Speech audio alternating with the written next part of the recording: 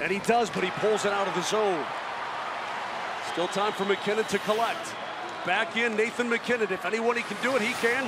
Holds in the far side. Time winding down. MacKinnon up top. One timer. Score! Mikko Rantanen! 1.3 seconds left in OT. The big slapper beats Miller. And the Avs have come storming back with three unanswered, and they it 4-3 in OT as the guys pour off the bench. what a fantastic look at them.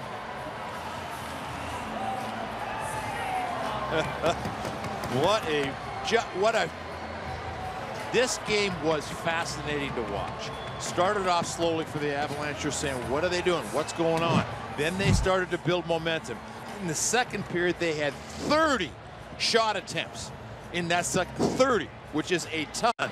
And then they started to come in that third period, and the big line puts it all together. The Colorado Avalanche walk away with their first overtime win. It looked like the period was over when Rand, when Landeskog won the faceoff. It looked like the game was over.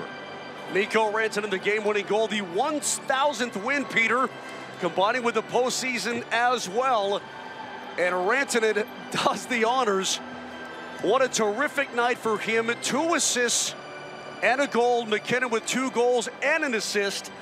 And the Avs get the extra point and they win in OT for the first time this year. Again, the 1,000th win for the Colorado Avalanche. Our final score here at the Pod is the Avalanche 4, the Ducks 3 in OT.